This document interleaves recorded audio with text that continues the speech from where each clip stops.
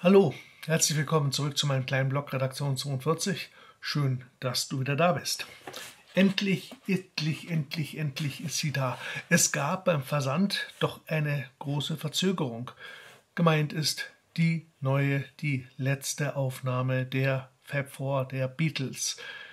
Ich habe eigentlich erwartet, dass das Ding am 3. November bei mir in der Hand ist. Nein, es hat dann doch zwei, drei Tage länger gedauert. Die digitale Version kam schon genau am Erstveröffentlichungstag um 14 Uhr und 57 Minuten und ich habe ja drüber geblockt. Ich mag es. Ich mag es wirklich und ich finde es eine wirklich schöne Platte. Nein, es wird nicht die Musikgeschichte verändern.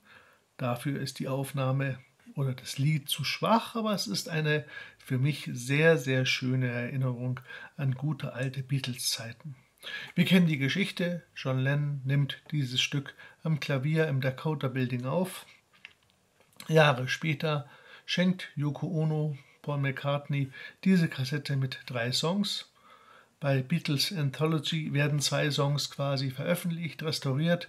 Ähm, Jeff Lynne hat es gut gemacht.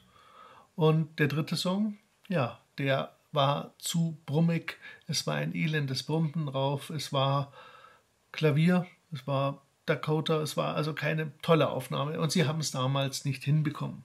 Aber sie haben es jetzt hinbekommen, nachdem Peter Jackson Get Back gedreht hat und die Technik einfach deutlich weiter ist als die Technik zu Jeff Lynns Zeiten.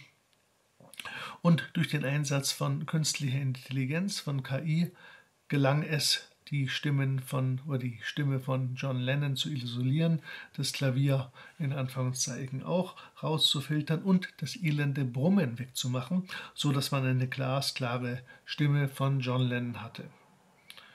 Die anderen Beatles haben ja dann die weiteren Sachen beigesteuert. George Harrison ist ja 2011 verstorben an Krebs und man hat seine Gitarrenparts von damals auch noch genommen, als man damals versucht hatte, diese ja, Musik zu retten. Jetzt ist es da und wie gesagt, mir gefällt es. Und jetzt ist endlich die Vinyl-Ausgabe da. Und jetzt schauen wir mal, ich habe bestellt die blaue.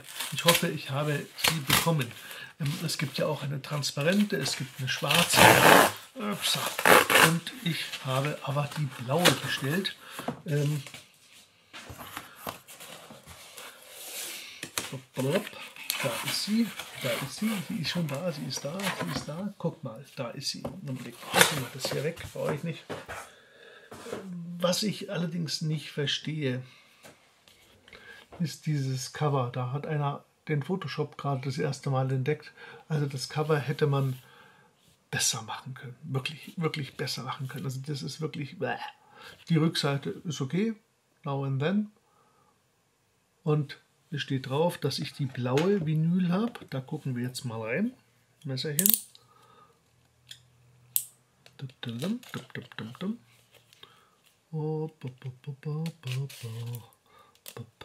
So, und oh, mit Inlay sogar halt. Aufpassen, nicht ganz auf. So, zack. Und wir haben auf der einen Seite die B-Seite Love Me Do neu überarbeitet, glaube ich. Und hier die A-Seite mit Apple, der Logo, die B-Seite und, und, und, und ist sie blau? Sie ist blau. Und sie ist ein schönes Blau geworden. Hier. Okay. Werden wir uns einmal anhören auf dem Schallplattenspieler und dann kommt es quasi ins Archiv, weil digital liegt die Aufnahme vor. Wie gesagt, mir gefällt sie. Manchen Leuten finden sie zu schwach. Mein Gott, was soll das? Äh, wenn ich einmal so ein Lied hinbekommen würde wie John Lennon, einfach mal nebenbei, ui, da ist noch was drin, dann wäre ich ja schon quasi ein Gigant. Was ist noch drin? Es ist die Geschichte. Ah, das, was ich euch gerade erlabert habe, ist hier nochmal aufgeführt. Und hier sind die Texte bei Love Me Do. Ne, es sind keine Texte. Es ist einfach, wer hat was gemacht. Keine Texte.